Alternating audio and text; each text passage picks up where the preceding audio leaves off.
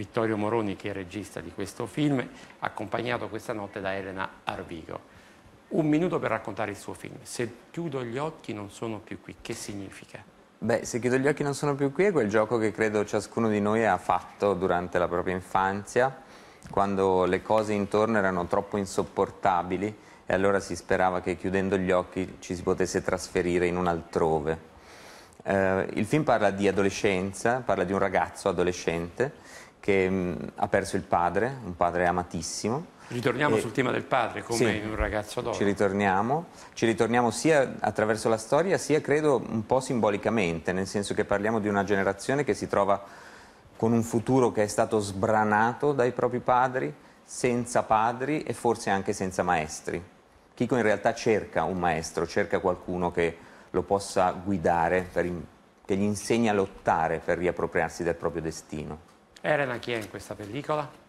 Elena Arvigo? Io sono una delle professoresse che si occupano della, diciamo, della formazione di, di, di, di questo ragazzo, è, avviene appunto nella scuola, io sono una di queste, la professoressa cattiva e questo è, è, stato molto divertente perché poi lavorare con Vittorio è, è bello perché si, si lavora prima, poi Ehm, quindi diciamo che questa non era bidimensionale il, il personaggio, quindi era, si, partiva, si, è partito dal fatto che lei avesse una zoppia fisica e poi questa cosa si è trasformata in una invece zoppia emotiva, quindi in realtà il suo essere severa dipendeva proprio da, una sua, da, da, da un, sua, un, suo problema e, e, quindi in realtà era un atto che faceva di, di generosità verso il ragazzo.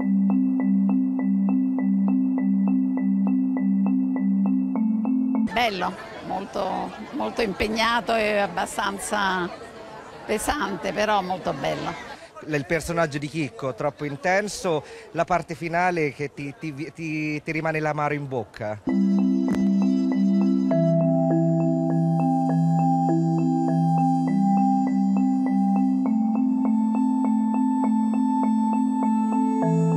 Credo che sia anche stimolante dal punto di vista delle riflessioni che nascono dopo averlo visto, direi bello, un bel film. Sì. Soggetto interessante e vivo, molto attuale rispetto sia alle situazioni dei ragazzi sia alle situazioni delle famiglie. Bellissimo, molto interessante veramente, tematiche importanti e molto ben fatto.